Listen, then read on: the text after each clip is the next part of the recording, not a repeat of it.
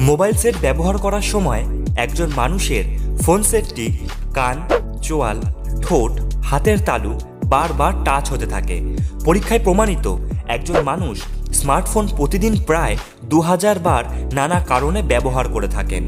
গবেষণায় দেখা গেছে, টয়লেট সেটের প্রায় দশ গুণ বেশি জাম্পস থাকে স্মার্টফোনে। আর আপনার প্রিয় হ্যান্ডসেট স্মার্টফোনের স্ক্রিনে ভাইরাস বেঁচে থাকতে পারে ছিয়ানব্বই ঘণ্টা মানে চার দিন পর্যন্ত। অতএব এর থেকে স্পষ্ট বোঝা যায়, কোভিড নাইন্টিন হোক আর যে কোনো ভাইরাসই হোক, স্মার্টফোনের স্ক্রিনে তাদের অবাধ বিচরণ। হাতের তালুতে বা পকেটে শুধু ন্যাকেট ফোন সেট রাখলে প্রচুর জীবাণু জমা হয়।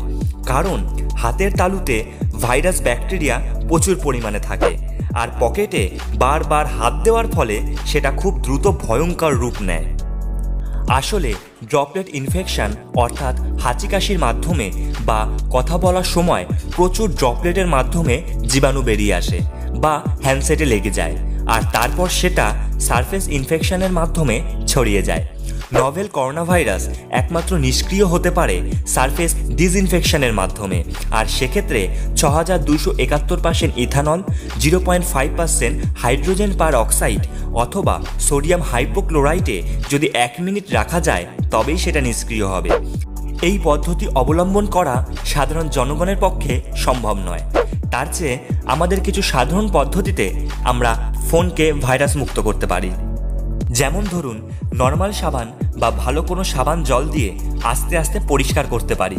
এইভাবে ভাইরাস ব্যাকটেরিয়া বেশ কিছুটা বিনষ্ট হয়।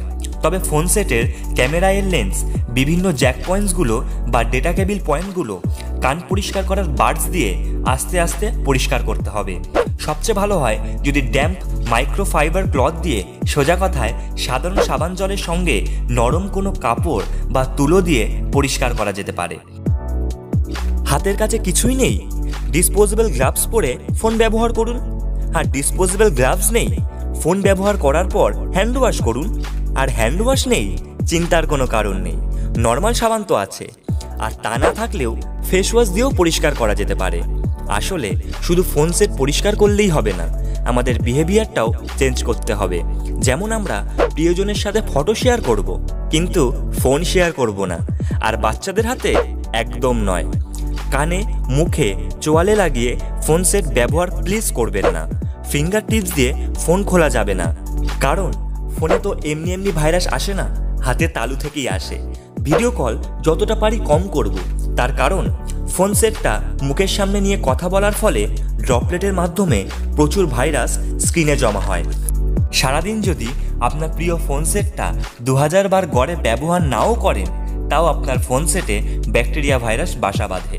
আর স্যানিটাইজার দিয়ে ফোন ঘষা যাবে না। এতে ফোনের কোটিং নষ্ট হয়ে যায়। আর কোনো কিছু স্প্রে তো করাই যাবে না। সবচেয়ে ভালো হয় মোবাইল কেস ব্যবহার করুন। আর যদি মোবাইল কেস টিস্যু পেপারের মতো ইউজ অ্যান্ড থ্রো হয়, তাহলে সবচেয়ে ভালো হয়। অতএব আজকের পর থেকে স্মার্টফোন সেটটি নভেল করোনা ভাইরাস বা ভাইরাস মুক্ত করেই ব্যবহার করতে হবে।